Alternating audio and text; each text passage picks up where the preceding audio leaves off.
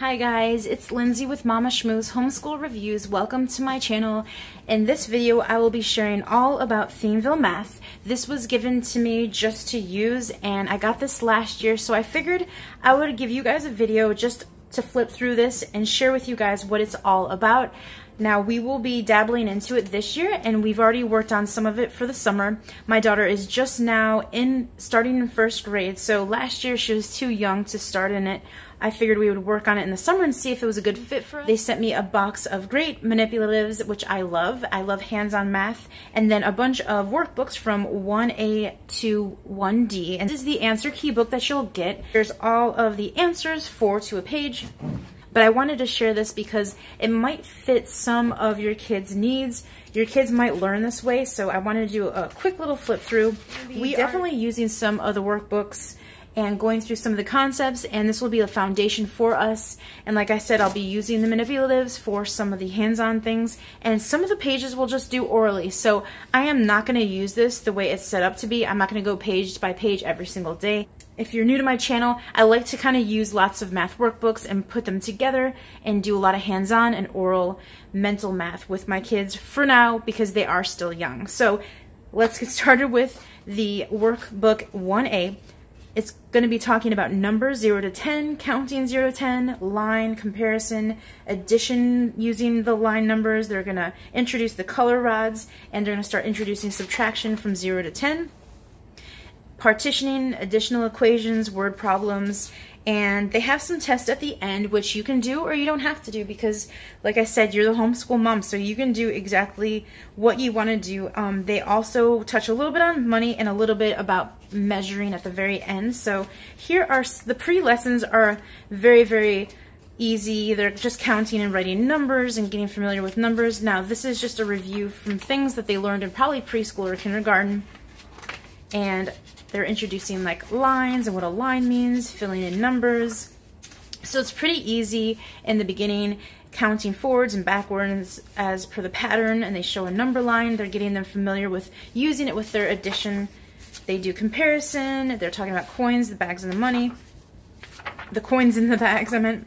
Compare the following numbers. They have they have addition using dots and then they have addition with line numbers. Now some stuff I did and some stuff we skipped over because I thought it was very repetitive.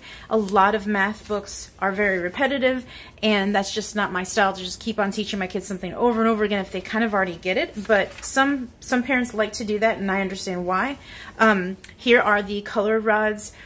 Uh, these are the show the addition equations with a diagram and so you'll be doing the color rods with this and I really like it because it's super visual and I will show the manipulatives to you guys right after I show you the workbooks. So you'll use a color rod and it'll be four units and then the other color rod will be three units and then that will equal seven. So it's very, very visual and always the first questions, they'll always gray the answers in for them to just get like of an idea of what uh, the actual question is asking if there is a question, and then they have compare the following numbers. They have them perform the following additional uh, equations and wanting them to answer that. Fill the length dimensions from addition equation. And so a lot of things they will be repeating throughout the book so that they will master it. Write subtraction equations counting forward from a smaller number. And I like how they have little squares and little circles for them to fill in the numbers. Some counting backwards and subtraction and so on and so forth. And here are some of the word problems that they do. I like how they have little images. They're all black and white, so if your kids get distracted by too much busyness on the work pages, these are perfect for them. If they like color, they can do these work problems and then they can color in after they're done. And then they have like these little um, test and pre-lessons before, I guess so that they know that they mastered whatever they learned prior. So I don't know if I'll be doing all of them. I did one of them with my daughter the other day and I just did it orally with her and it was very, very simple. Now I like the way they choose to do the double digits. It's really cool. They, they put the number here, 10 and 8, so 10 and 8 is 18. So they merge the two squares together visually and it makes sense to me. So I'm, I'm hoping it'll make sense to my kids um, or my daughter. 10 and 9 is 19, and then 10 plus 9 equals 19. And they have that merging together, and then they show you with the dots, they can count them. And then they also show you adding through the number lines and through the color rods. So they get all these different concepts and all these ways of adding, and it just hopefully will get into their head um, pretty quickly on how to mentally add things together. Now they're also learning how to write the words and which is very important. So they're doing the numerals, circle the biggest number, pretty simple stuff, and money, and then they're doing some measuring, and I think they measure with the color rods here, and then they're going to be measuring with an actual like ribbon on here or a ruler. And they give you a ruler in this program. This is workbook 1B, and I want to try to go pretty quickly through this so you can see just like what it's all about. Word problems, addition 0 to 20, additions with number line, money, more word problems, subtraction 0 to 20, numbers 0 to 20, and 0 to 40, numer numerals, and measuring lengths and word problems. So this is the beginning. This is what they'll be doing. Subtracting more word problems, number line graphs, or number line addition, subtraction, subtraction with color rods. Then they do like the word problems. Instead of putting tomatoes, they actually just do dots. So the pictures are no longer, the images are no longer in the word problems. They're just using dots, I guess, to get them more used to visualizing and mentally doing it themselves. And then here they're teaching the place values, which I really think is great the way they do it. They show you the tens and they show you the ones. And then when it gets to 11, they show you tens here, and then this is the one, and then they merge them together, and then they have them grade in here. I don't know if you could see, so they could actually trace it. And I really like that. They have it here as well. Count backwards and follow the pattern. So there's a lot of things that I really enjoy um, how they teach some of the concepts in here. And since I'm a visual learner, I think it'll work for my daughter. So here is 1C. The contents are adding 1 or 10, skip counting by 10, word problems, comparison 0 to 40, numbers 0 to 100, chart 0 to 100, counting backwards by 10, skip counting by 5, numbers 0 to 100. So if your kids already know some of these things, um, you might want to look into the second grade level or if they've already learned some of these concepts, they could just skip them and um, just work on a few pages if you want. But it's really very, I guess it's a, a workbook where it's more of a mastering, mastering the actual math concept. And I love this, how they do 26 plus 1, and they highlight the 6 and the 1, showing them that you just have to add 6 plus 1 equals 7, and then you carry the 2 over to get the answer. More word problems. Now, there were four fish in the tank. Three more fish were added. They want them to actually draw it on there, so that's pretty cool for kids that like to draw and that they could color.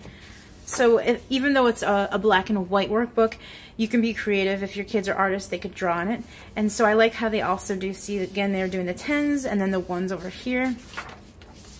And the tens and the ones over here, and they want you to put what the answer is in the rectangle right there. So that is 1C. Oops. and then this is the last book that they'll be doing. Addition, subtraction with number line, comparison 0 to 100, word problems, chart 0 to 100. They do a lot of charts.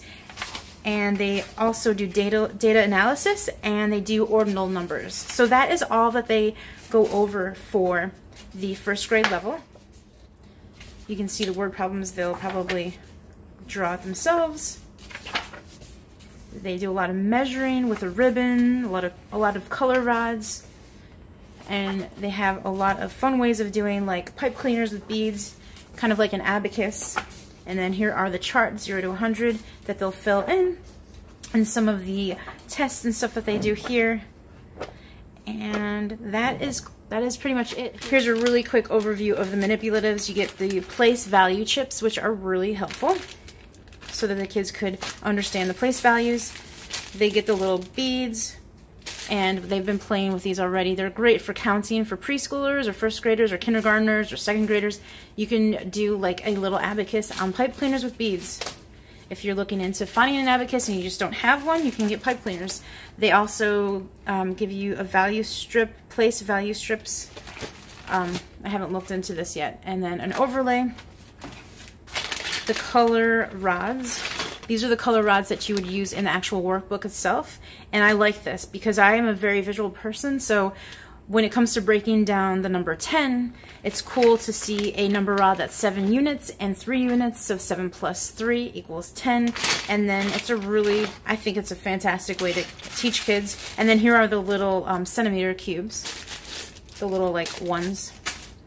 This clock we have used all year long for kindergarten, and my daughter's just now um, getting the gist of like 1.30, 2.30, like I'm explaining that to her. Um, she's already learned like 1 o'clock, 2 o'clock, 3 o'clock on this, and it's really simple to have. This is great to have around the house. It's so small, it has a little stand, and I just give it to my daughter, and I have her match the time on a digital clock and she will match it on this clock. So it works out really great and then it'll go along with any of the workbooks that I'll be using this year for teaching time. They gave us a really long thing of ribbon for measuring, which is fun. And they gave us a wooden ruler, which I do have, but I don't have it for this video.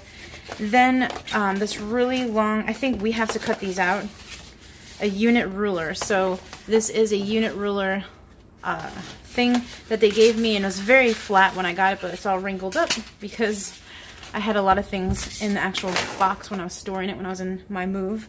And then this is the really cool um, bank thing. It's from the Learning Journey International store.